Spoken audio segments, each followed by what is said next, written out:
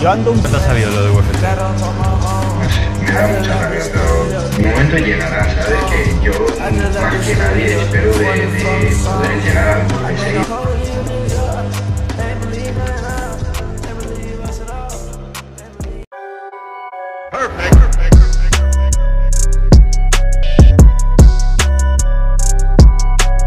¿Qué tal, amigos adictos al MMA? Este es un video muy distinto a lo que acostumbramos en el canal, pero ustedes saben ya de antemano que a mí no solamente me gusta hablar de las técnicas, de las tácticas, de lo profesional que puede llegar a ser un peleador, de exactamente los movimientos que son mejores o peores, sino que también me gusta hablar muchas veces de la mentalidad, de la motivación, de todo este tipo de cosas, la disciplina, todo este tipo de factores que hacen tan importantes a un y que lo vuelven y lo convierten en un profesional y probablemente a futuro lo conviertan también en una leyenda, ¿no? En diferentes oportunidades a lo largo de la historia hemos escuchado cómo se habla de gente como Cristiano Ronaldo, cómo se habla de gente como Michael Jordan, como el mismo Kobe Bryant, ¿no? Cómo se habla de gente como Mohamed Ali y todos ellos tenían digamos que algo en específico y era que eran extremadamente competitivos, pero no solamente eso, sino que eran extremadamente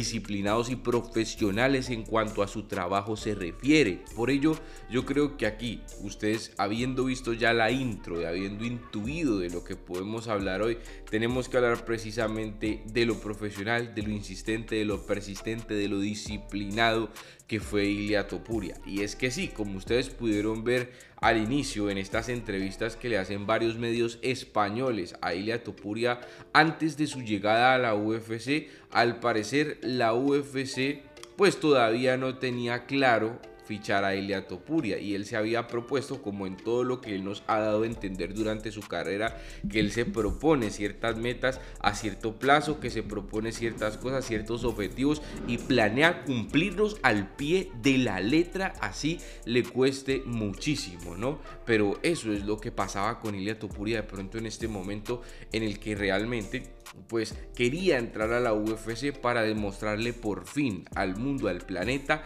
que ya estaba listo para acabar con todo aquel que le pusieran enfrente. Y pues es bastante interesante ver cómo incluso pues muchos periodistas se lo preguntan, se lo dicen como que, oye, ¿qué te parece esto? ¿Te esperabas que pasara? Y pues miren, al final eh, es una enseñanza supremamente grandísima de cómo un peleador como Ilia Topuria, que a día de hoy yo creo que pocos eh, que están conscientes, ¿no? Porque sé que dentro de todo esto hay mucho fanatismo, hay mucha gente que simplemente por ciertas razones y ciertos detalles pueden llegar a ser haters de un peleador, pero igualmente hay gente que sabe reconocer también que Ilia Topuria ya a día de hoy se ha consagrado como un campeón y una posible leyenda de las artes marciales mixtas en general. Pero entonces Ilia Topuria, al haber recibido, digamos, esta, podría decirse, mala noticia de que UFC todavía no quería adquirir sus servicios, que todavía no lo veía como un peleador élite para participar en su promoción, él en lugar de achicopalarse, en lugar de ponerse mal, de caerse, de venirse abajo, como sea que ustedes le digan en sus países, pues él lo que hizo fue directamente trabajar incluso mucho más porque sabía que algo le estaba faltando o porque sabía que le quedaba un poquito más de experiencia para que tan siquiera la UFC pues se pudiera fijar en él, ¿no? Eso era como algo muy importante para Topuria. Porque obviamente, gente, seamos claros, ¿no? Yo sé que mucha gente por ahí va a decir, oye, pero no se necesita a la UFC para llegar a ser de lo más grande.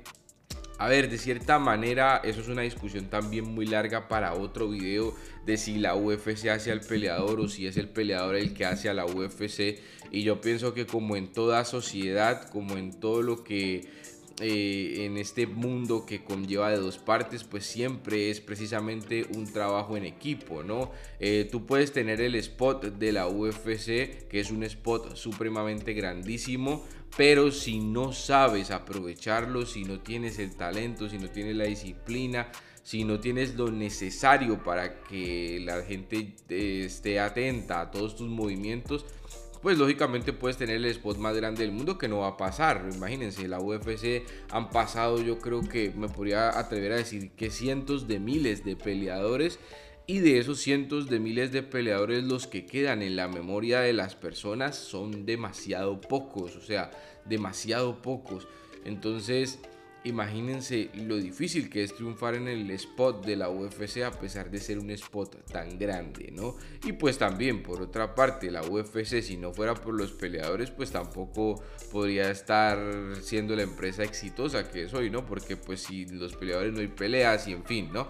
Pero igualmente lo que digo es que todo depende de las dos partes y todo depende de qué tanto aproveches. Yo creo que Ilia supo en ese momento que pues la tenía que seguir rompiendo, tenía que seguir eh, haciendo lo que venía haciendo también y que UFC tarde o temprano lo iba a mirar. Así que para mí eso, gente, es una reflexión extremadamente buena porque sé que muchos de nosotros afuera en nuestras vidas, sobre todo los más jóvenes, ¿no? Porque muchas veces, miren, hoy en día lamentablemente por las redes sociales tenemos muchas comparaciones, ¿no? Tenemos este tipo de, de ejemplos que podrían ser de cierta manera nocivos si no se saben interpretar, ¿no? Por ejemplo, mire, les doy un dato bien curioso, ¿no? Yo, Carlos Santa Cruz, tengo 28 años y Ilia Topuria tiene 27 y yo podría decir él ya es campeón de la UFC, em, él ya ha hecho esto, esto y lo otro, pero pues obviamente cada proceso es distinto